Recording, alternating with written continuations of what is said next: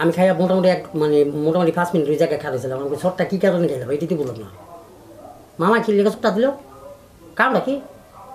ও, কবুতরের খড়টা বানাই না দিকা কবুতরের ডাইনিং টেবিল, বেডরুম, ওর বাবা, এত কিছু বানানো লাগে।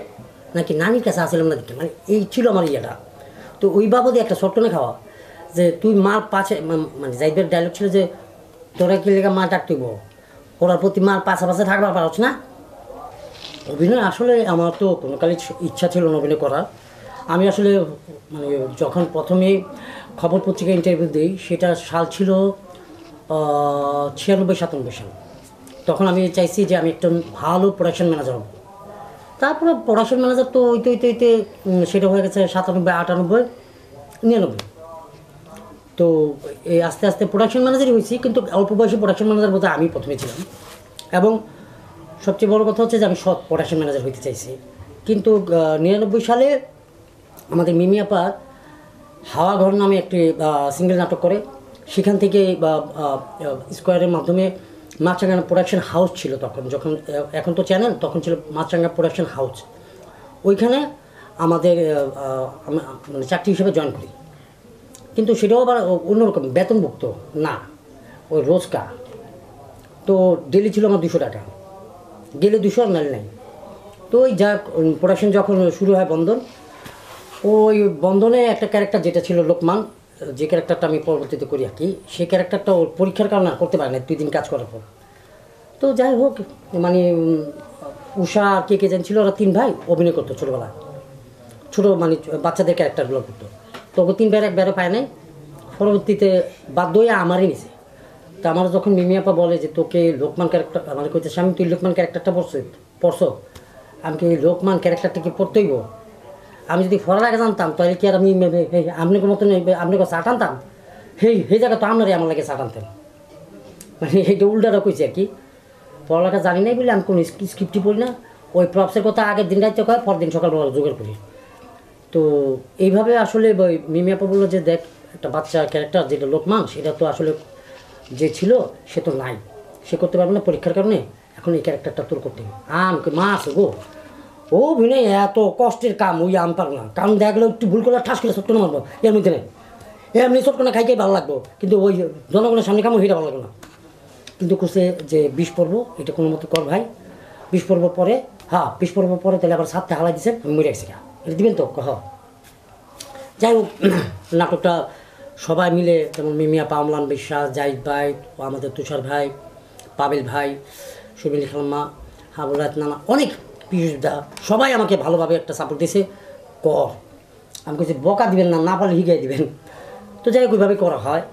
তো ছয় নম্বর পর্বে জাহিদ ভাইয়ের একটা চটকনা ছিল আমার গালে। আমি বুঝিও না যে চটকনা খামো। ঠাস করে একটা চটকনা দেয়, ওই চটকনার পুরস্কার পাইছিলাম পঞ্চাশ হাজার টাকা, ওই প্রথম পাওয়া। সেটা আহ, স্যার দিয়েছিলেন স্যামসাং দিয়ে স্যার। সবাই মিলেমিশে অফিসিয়ালি ওই ওই দেখে আবার ভাইয়ের একটু হিংসামি লাগছে। কই আমরা অভিনয় করা পুরস্কার পাই কিন্তু টেহা পাই না। আর তুই অভিনয় করা টেহা পাস পুরস্কার পাস না। আমি কই এটা ভাগ্য লাগে ভাগ্য। তো ওইভাবে আস্তে আস্তে আস্তে আসে মানে আসা কিন্তু বিশ পর্বের পরও স্যার বলল পিন্টু স্যার বলল যে লোকমান যে শামিম তোমাকে তো লোকমান ক্যারেক্টারটা করতে হবে, আমি তো জানি স্যার এটা তো আমার করতেই হবে বুঝে জ্বালাইছি তো আগেই। আমার তো সাথে তালাই নাই। তো আস্তে আস্তে ওই বন্ধন দিয়ে আসা, তারপর ব্যস্ত যাত্রা, দৈনিক তোলপাড়, আর সিঙ্গেল ছিল অফবিট চিলেকোঠা।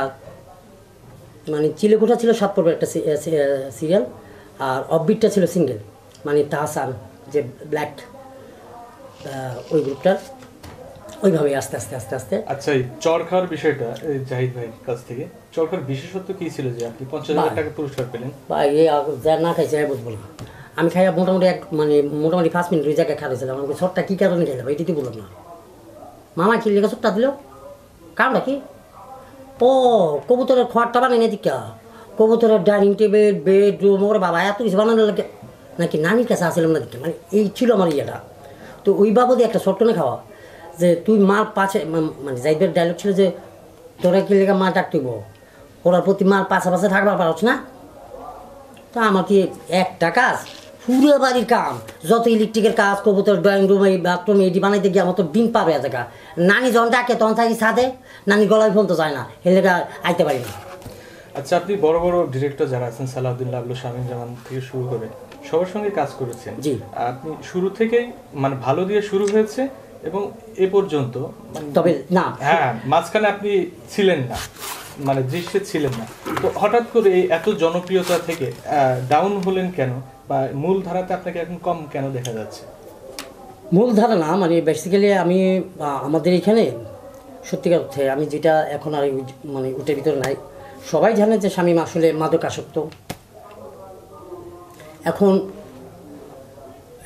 যে কোনো কারণে আমি কয়েকদিন আগে একটা কাজ করছিলাম আমাদের একজন অভিনেত্রী আমাকে ঠাস করে বলে বসল আসি রে আমাকে কি? বাবা আমার কাছে কাগজ আছে। আপনি যাদের সঙ্গে এর আগে কাজ করেছেন তারা এখন আপনাকে নিয়ে কাজ করছে না। তো তাদের উদ্দেশ্যে আপনার কি বলার কি থাকবে যে আপনি আবার মূলধারায় ফিরতে চান? আমি সবাইকে মানে মাঝে মধ্যে মানে প্রত্যেক মাসে দুই তিনজনকে যার পরিচিত যেমন কাছের ভাই আমাকে নিয়েছে জাদুনগর গ্রামে, জাদুনগর জাদুনগরে সেখানে আসি কাছের বাইরে আরেকটা সিরিয়াল ছিল, ওইটাতে শেষ, ওইটা কাজটা আর হচ্ছে না। গোলমাল। আর এখন যেটা চলতেছে, সেটাতে হয়তো আগামী মাসে বোধহয় আমার একটা ক্যারেক্টার ইন করবে। ওইটা কী জানি একটা যায় কোন চ্যানেলে জানি একটা যাচ্ছে, আমি মন রাখতে পারি না। এই একটা, আর আমাদের হাসান জাহাঙ্গীর ভাই সোহাগ কাজী, বিশেষ করে সোহাগ কাজী আমাকে বেশি সাপোর্ট দিছে।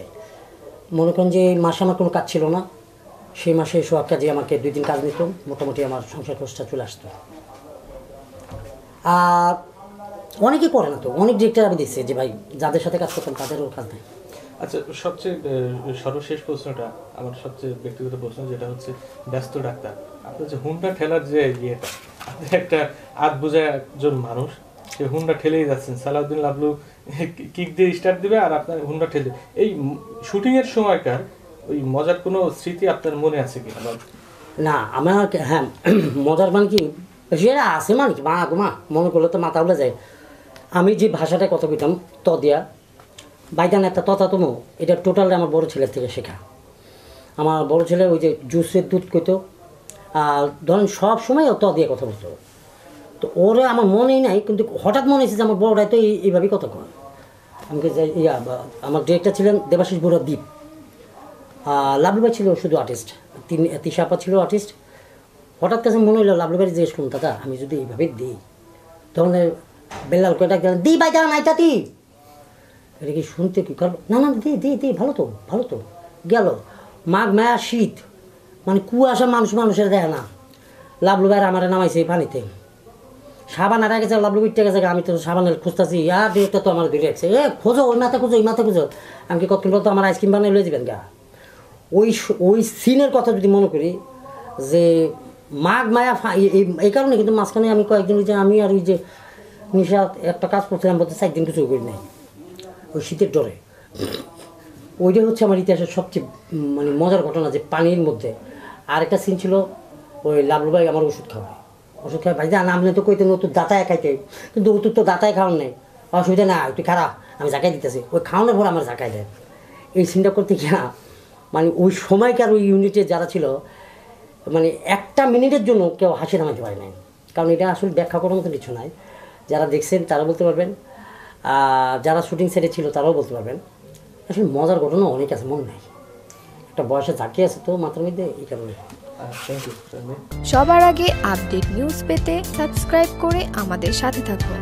ধন্যবাদ সবাইকে।